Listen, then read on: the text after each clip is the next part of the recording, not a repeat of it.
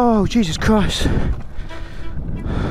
I'm about to ride the worst dirt bike in history. This is the 2001 Cannondale MX400 and by some it's regarded as the worst dirt bike in history. Which is strange because this machine, which was made by a bicycle company, is packed full of super advanced features that are commonplace today. Reverse cylinders, fuel injection and electric starts were all 10 years or more away back in 2001. So, what went so wrong? And why is this bike, the great American hope, considered such a failure?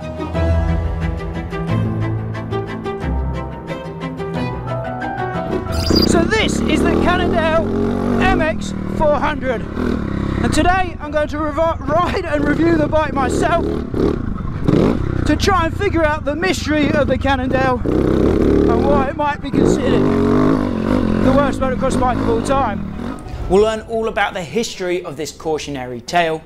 And we'll talk to the proud owner of this bike to see if the Cannondale MX400 does indeed have any redeeming qualities. Stay tuned until the end for a special surprise and to find out how you can get involved in a future video. To begin our story, we are going to have to travel back in time to an era of big hair, loud colours and revolutionary ideas. In the early 1980s, American concrete company Cannondale entered the bicycle market and soon took it by storm with their revolutionary and innovative ideas, which included the introduction of the aluminium frame. By the time the 90s rolled around, Cannondale were considered a true American success story as they continued to triumph in both sales and world titles across the biking world. By pushing the boundaries with their designs, Cannondale became known as one of the best in the business. As the 90s came to a close, Cannondale were full of confidence and they noticed an alluring opportunity in the dirt bike market. The unveiling of Yamaha's YZ400 gave the biking world a kick up the backside. It was also the perfect carrot for Cannondale to chase and provided them with an open invite to innovate to their heart's content. And arguably, it was this continual quest for innovation that ultimately led to their downfall. So the 90s were a tumultuous time for motocross manufacturers.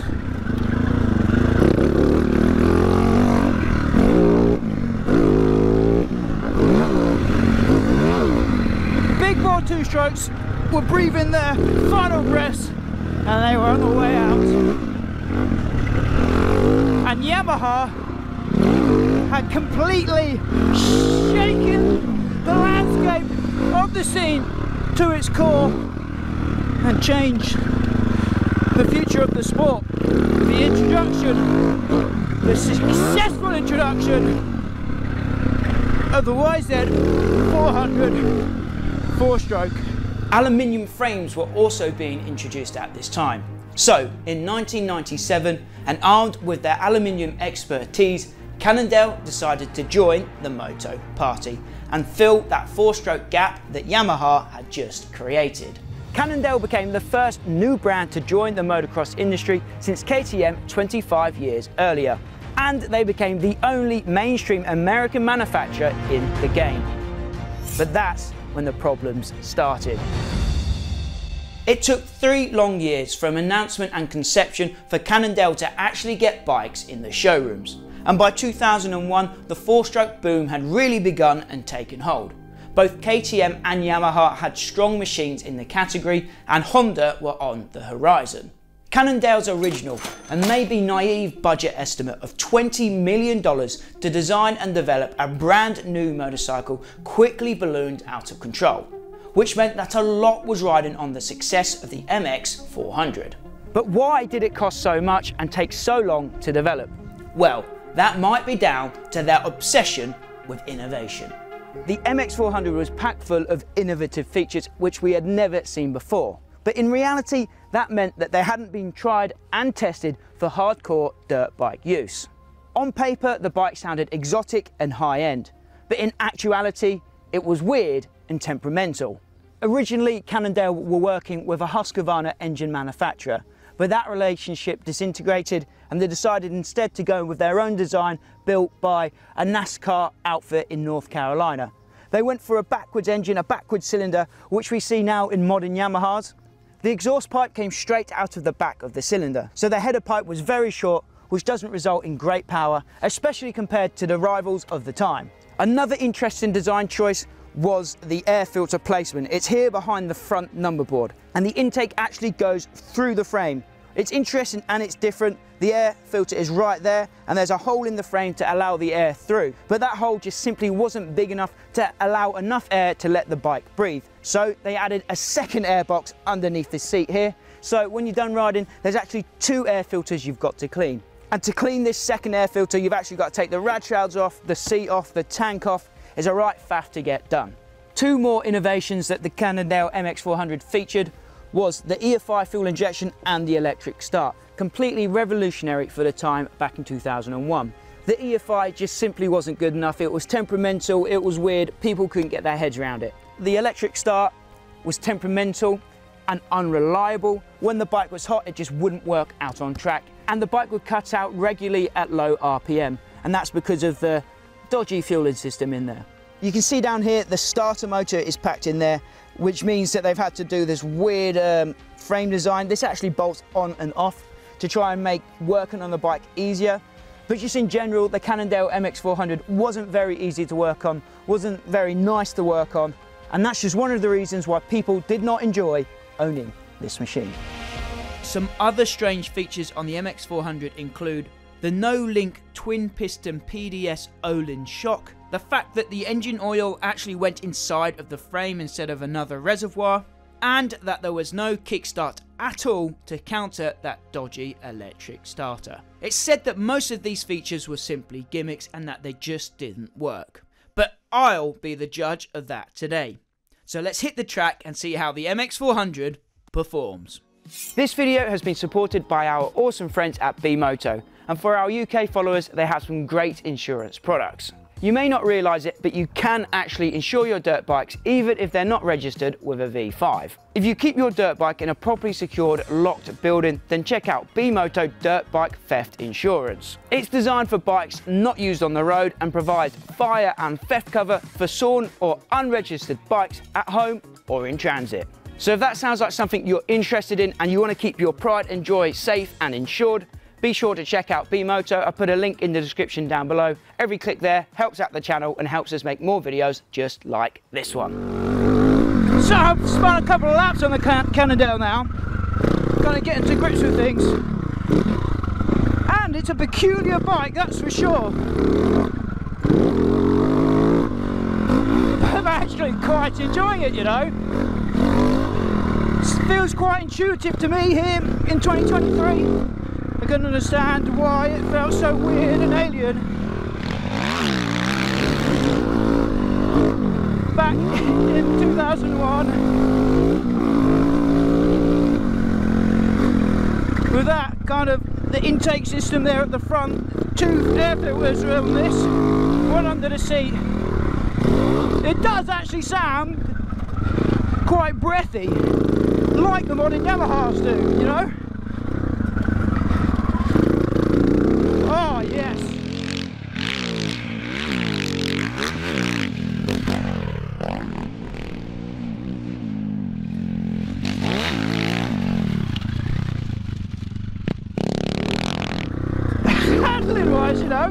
This is pretty good.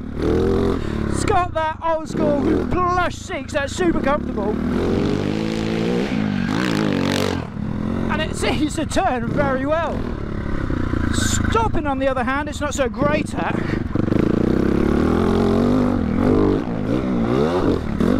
The brakes are lacking somewhat I would say.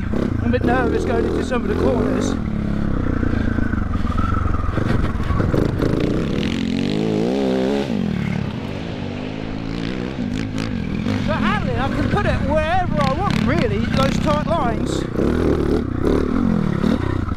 I was not expecting from an old thumper from 2001.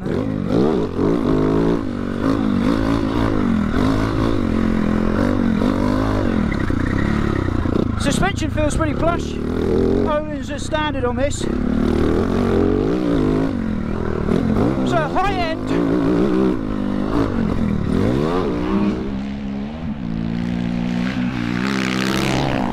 It's not so bumpy at the moment, but it's coping with everything we're throwing at it. That felt pretty quick around there.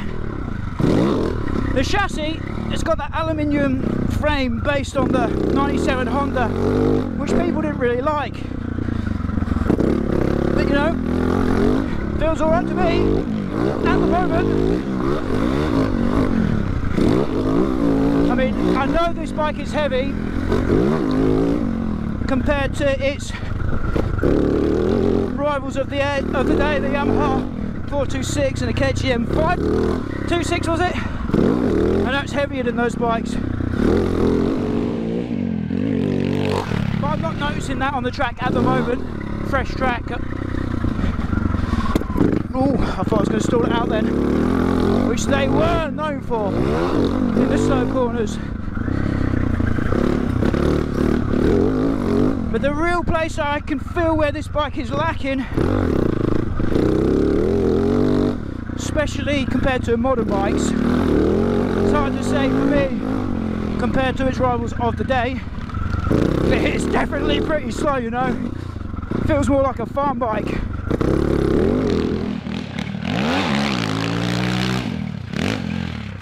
Power.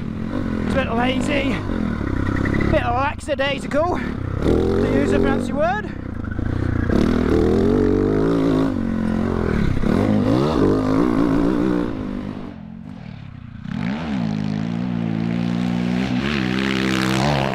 That don't feels like a farm bike.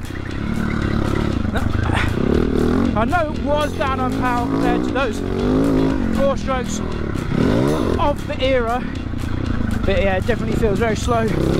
But that's adding to my enjoyment of it actually. I'm not trying to race this thing, I'm trying to have fun. And the fun I am having. Up, up, up. So let's do a fast lap.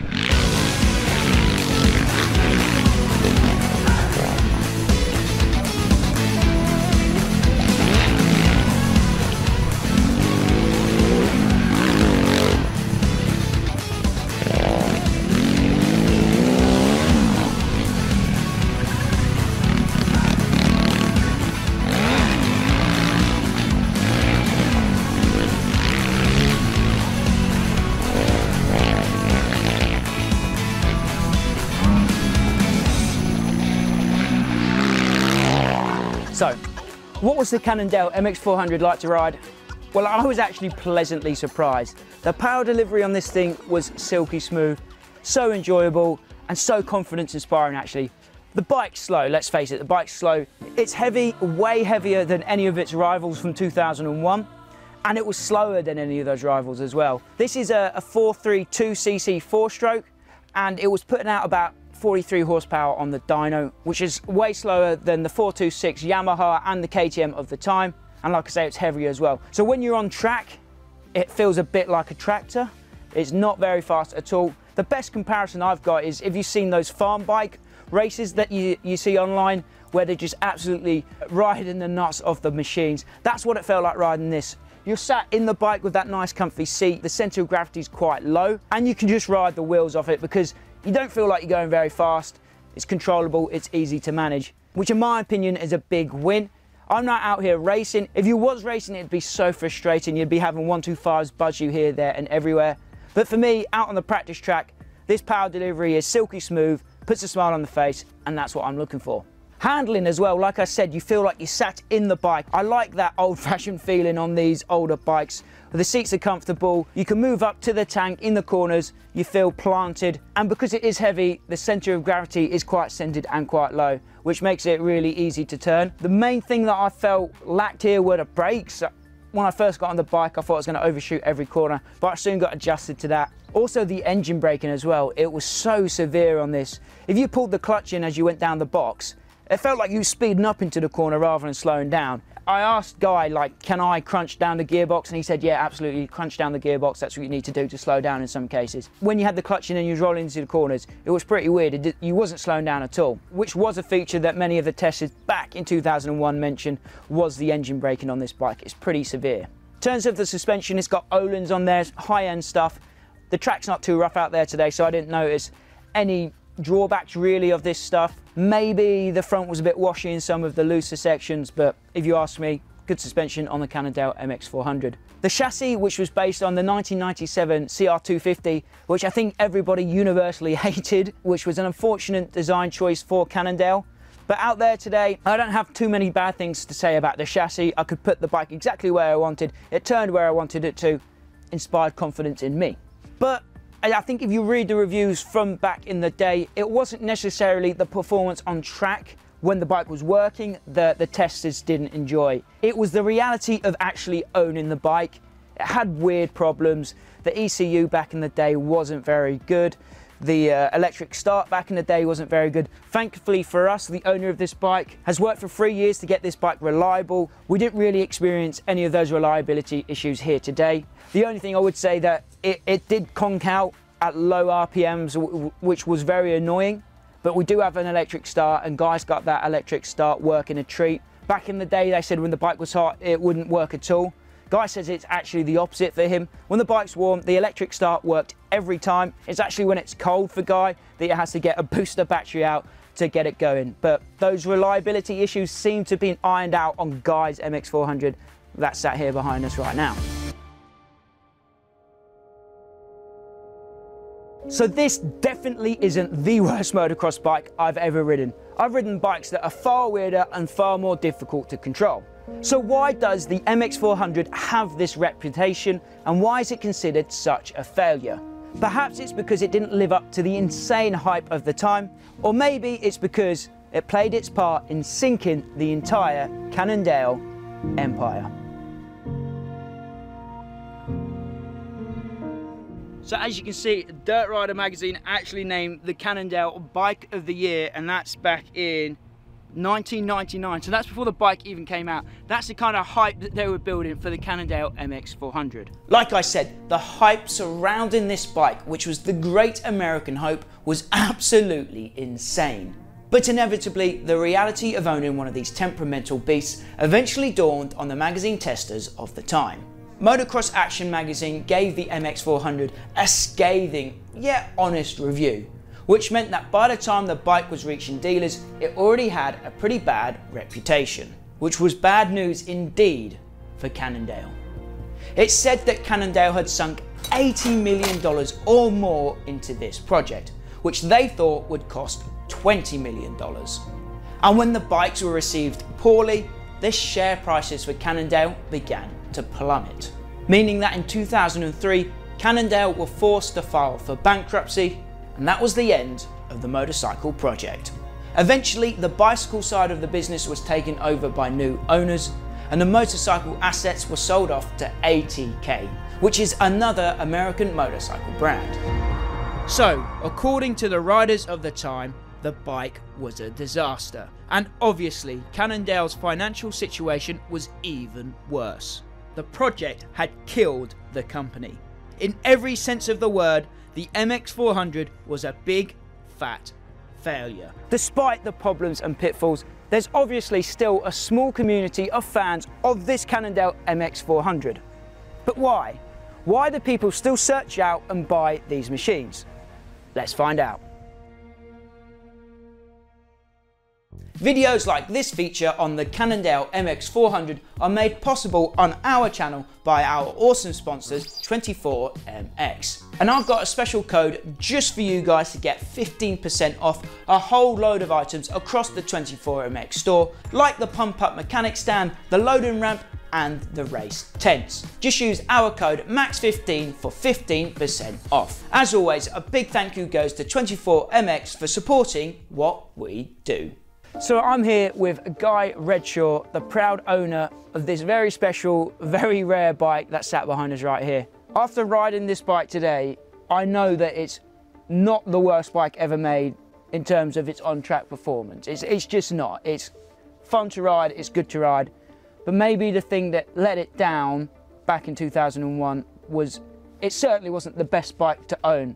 Firstly, what is it like to own one of these and what have you done to alleviate those problems that everyone experienced back in 2001 that sour the taste of this, what I think, very fun bike to ride? So I guess we, we've got to we've got to give some recognition to all of the, the quad uh, riders in the US that have kept what what people say is the best handling quad ATV Yeah. ever made, which So- is the Cannondale. So to set the story straight there, Cannondale, as well as making the motocross bikes, they made ATVs as well. They did, yeah. They made a few variants of it.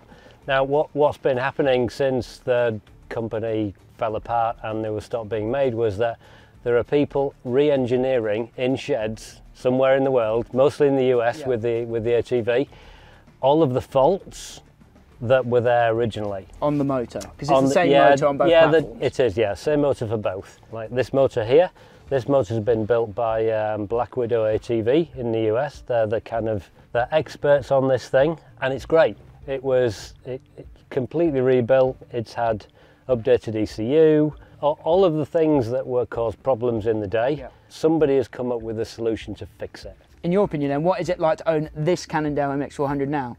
I bet it's quite fun to have in a garage and quite fun to, to roll it out the track, right? It is, yeah. It, for me, it's a really great looking bike. I love everything about the design. You know, Cannondale was a company that rethought everything. They came up with an idea and rethought it, and they challenged everything that was going on. Unfortunately, this didn't work, but today it works. Yeah.